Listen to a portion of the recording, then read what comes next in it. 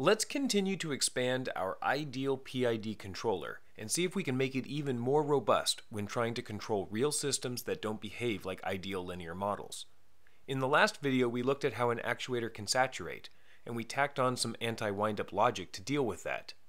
In this video, we're going to focus our attention on the derivative and look at how the device that is sensing the true state of the system and producing a measured state that the controller can use can add noise into our feedback loop.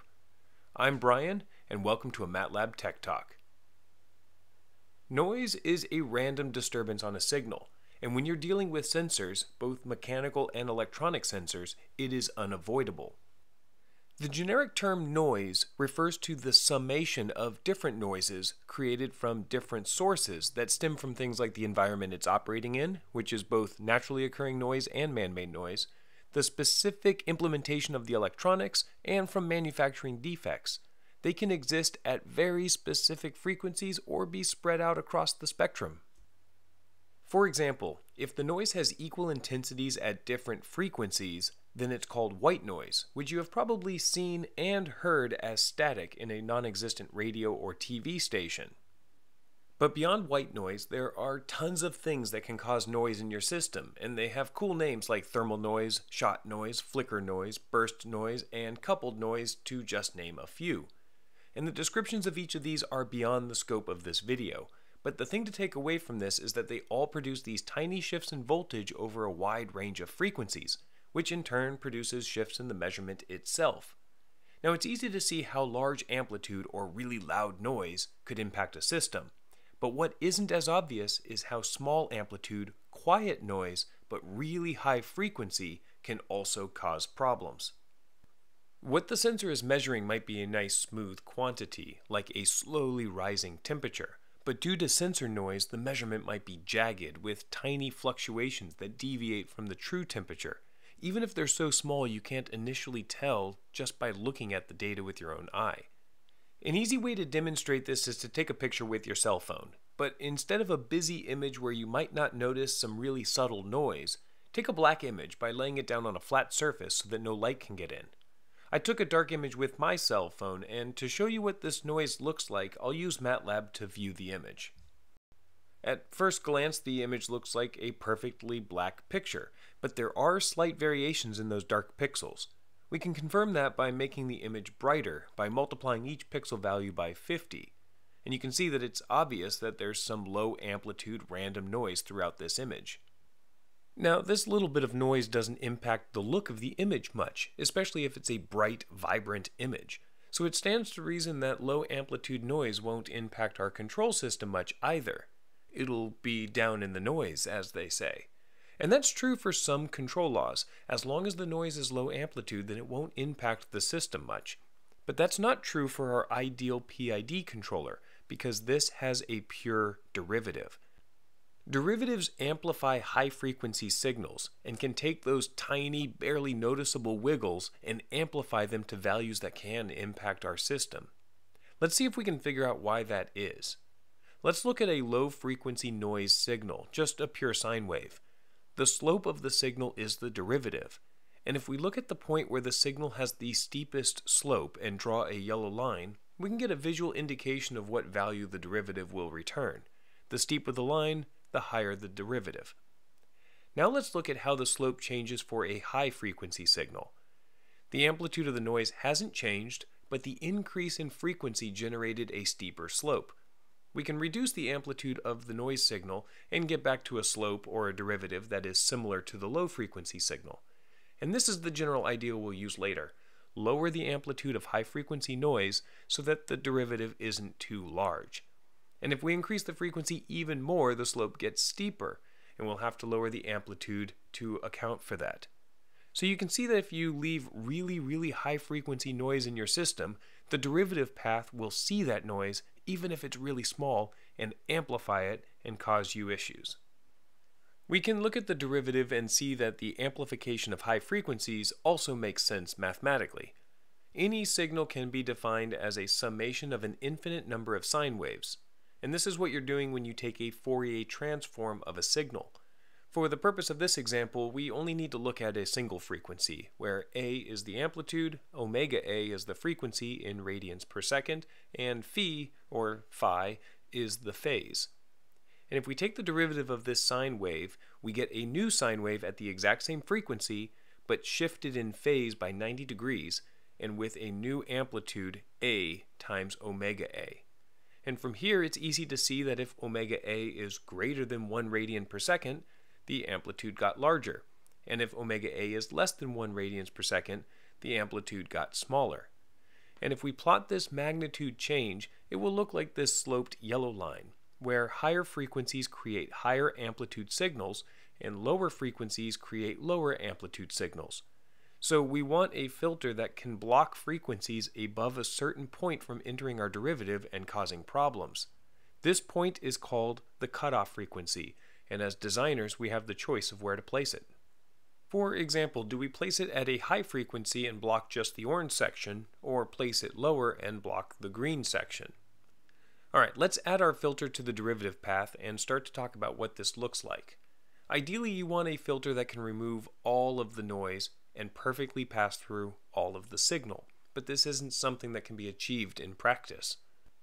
Luckily for a lot of applications, the noise across the spectrum is relatively low amplitude or low power, and the signal you're interested in keeping has comparatively large power and low frequency.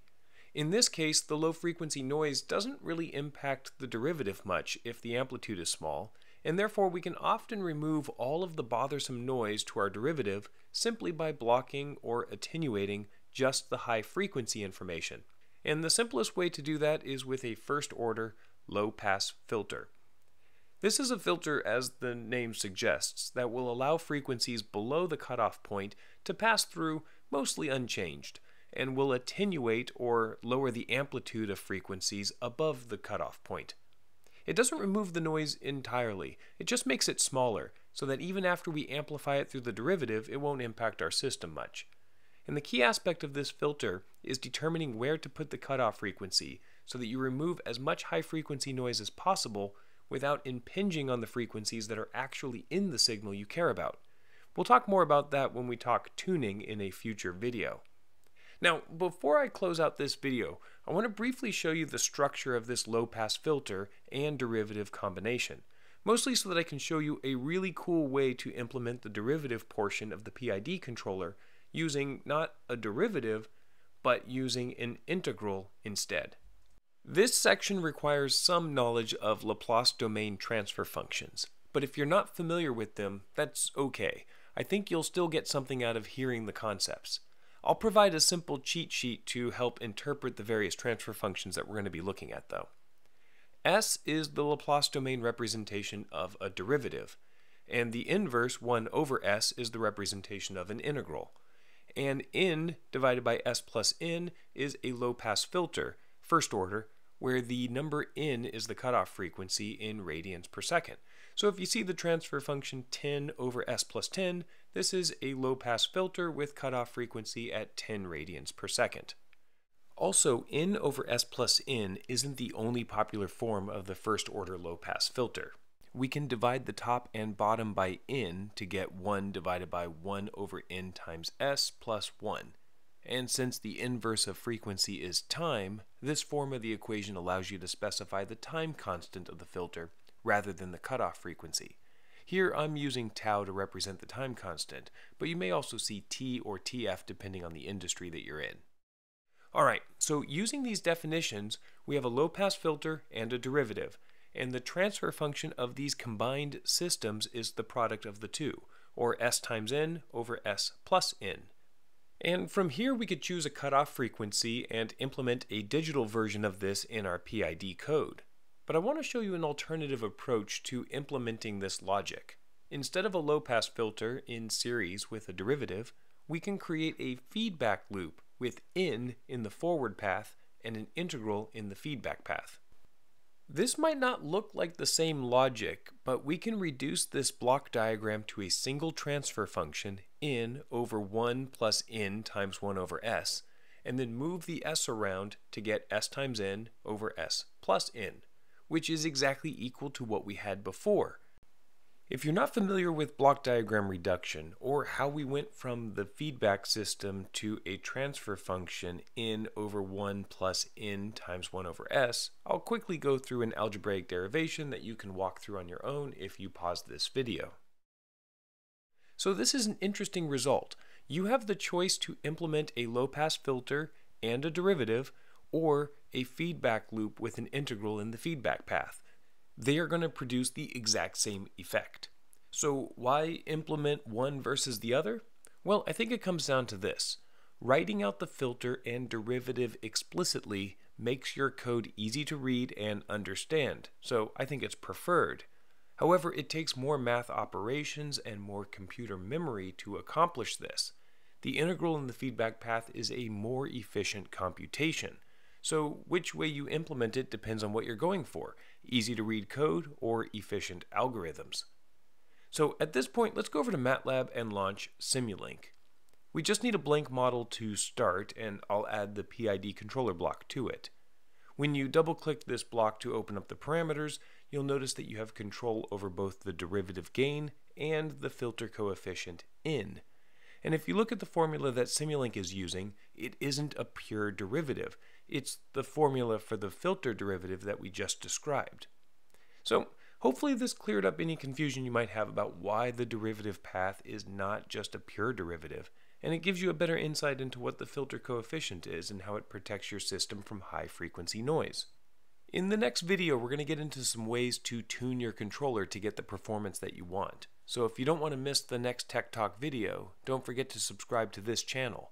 Also, if you want to check out my channel, Control System Lectures, I cover more control theory topics there as well. Thanks for watching, and I'll see you next time.